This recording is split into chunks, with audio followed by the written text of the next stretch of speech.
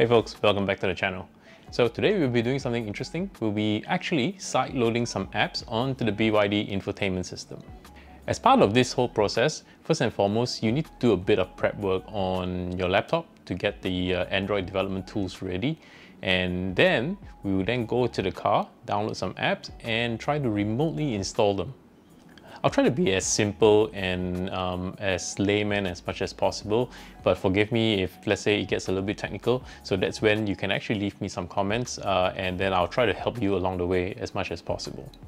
So without further ado, let's go uh, onto my desktop and get some apps and download those apps, get it installed, and then we'll head to the car and do some installation.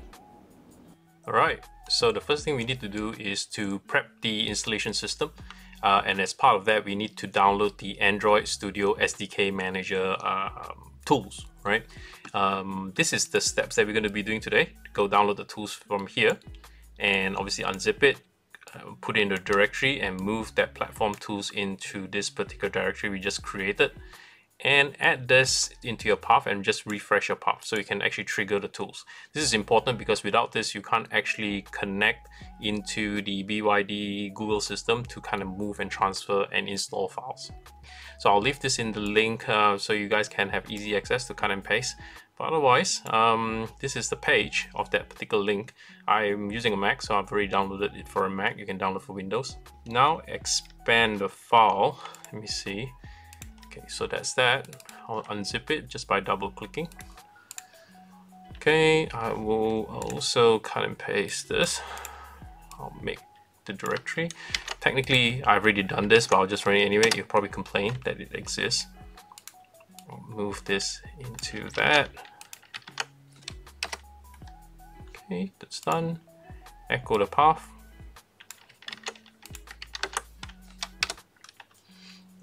Then reinitiate it. Oops.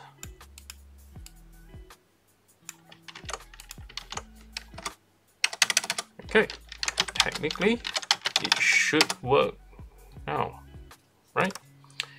That's um, how we get ADB installed. Next, we need to go to the car and figure out the IP addresses of the particular car. Hopefully you have gone through the initial installation of the tools. Uh, so now what we're going to do is that we need to go download the APKs that you want to kind of load onto the platform and also connect to the car and remotely install it.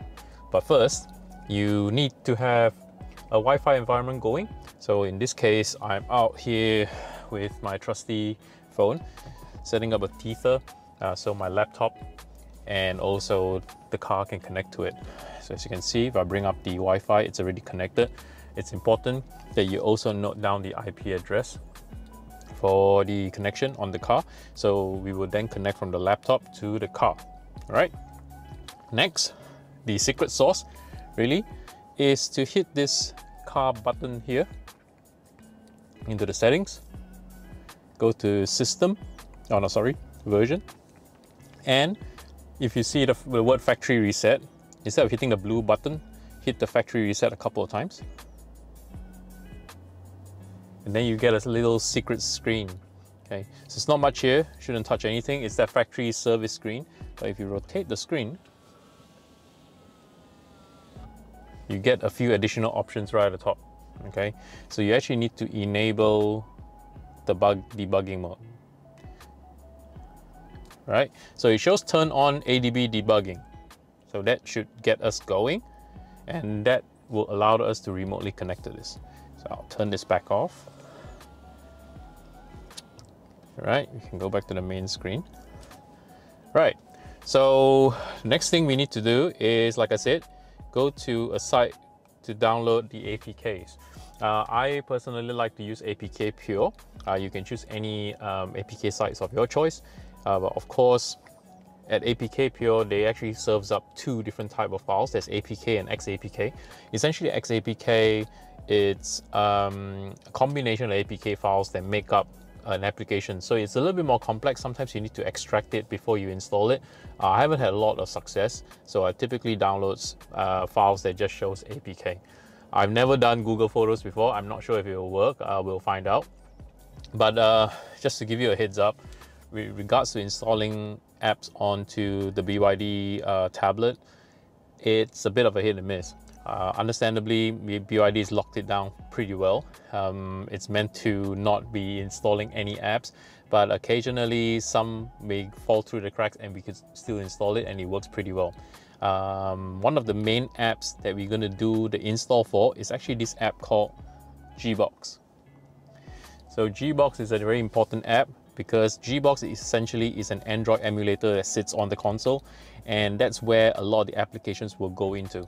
Uh, it's a, almost like a virtual machine, a virtual Android device within an Android device. Um, I already obviously installed Gbox, so I won't install it again.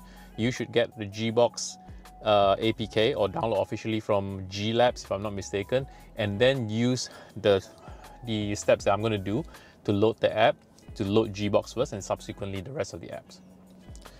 So since I've installed Gbox already, I'll show you how to install a normal app, but it's like I said, it's the same way to do uh, the Gbox app. Do that first and then do the rest. So coming back to my laptop, um, I've already downloaded Google Photos. Uh, you need to have the terminal set up.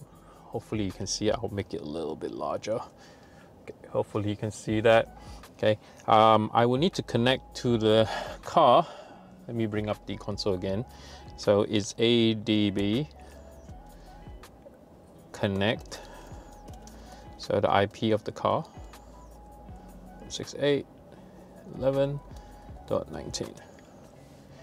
So it, if you can see, it shows connected and that's the status I want to. And now I'll install the Google Photos um, app. So I'll do ADB install uh, if I I'll name it G Photos. Uh, oh, sorry, I should go to CD downloads. Oopsie. Sorry, I had doing this one hand. CD downloads, okay.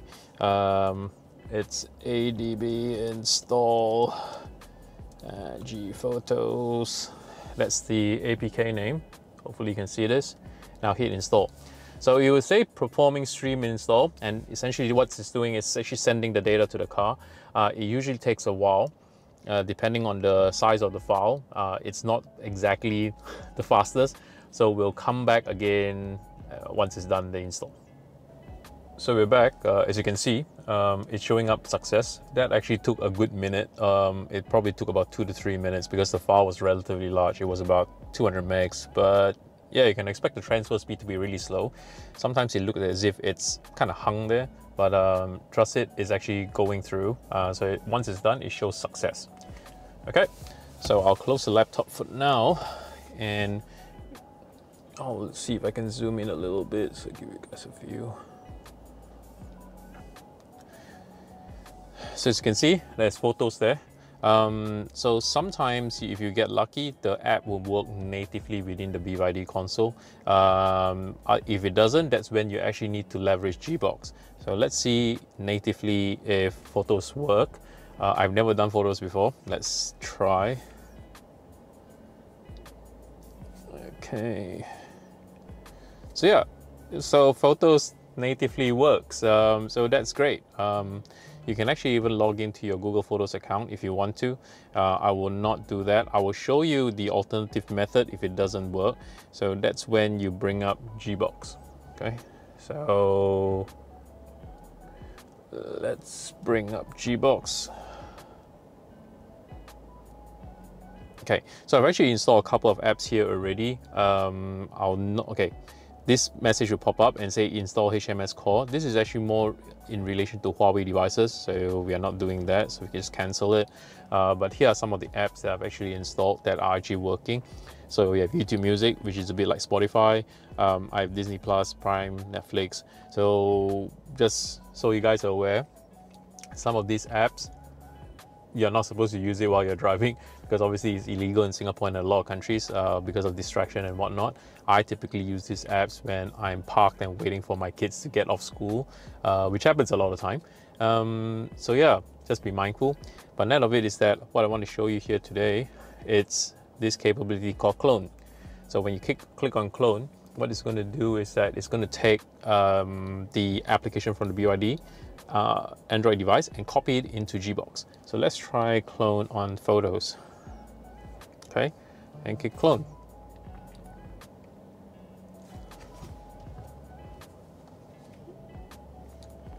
So it takes a minute as well. Okay, so that's done. Uh, it will prompt you to add it to your home screen. Um, it doesn't really support that capability, so I was just gonna say cancel. Okay, so now you have Google Photos. So you should be able to launch it natively because I've already signed in into Google, so my account's there. Um, so I can just go choose that account and get started. Here you go. So these are all the other pictures, um, assuming you have something. But that's that. Um, so like I said, some apps actually work natively.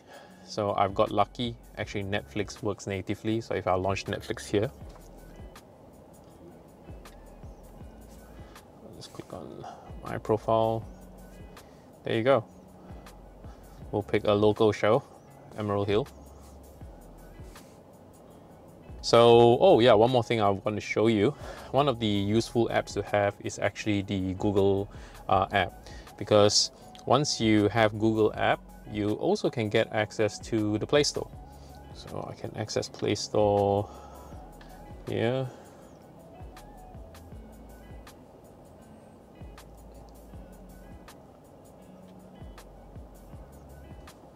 There's the Play Store. So for example, now you have Play Store here. I can go search up, say YouTube Music, or I don't know, maybe YouTube Studio, whatever it is. And it provides you the option to install um, immediately from here. So by doing that, some of the apps actually work directly. Uh, it installs directly into Gbox and you don't actually need to go through the process of um, loading up the APKs, you know, ADB install, etc., etc. Uh, but I haven't had a whole lot of success. You can give it a try. Some apps actually work, uh, some actually don't. But again, as expected, the whole intent was never to let anybody load uh, all kinds of apps. Um, so yeah, you can have a go at this. Uh, let me know how they, how you you know you fare, and hopefully this um, high-level video has been useful for you guys. As always, thanks for tuning in, and I'll see you guys in the next one.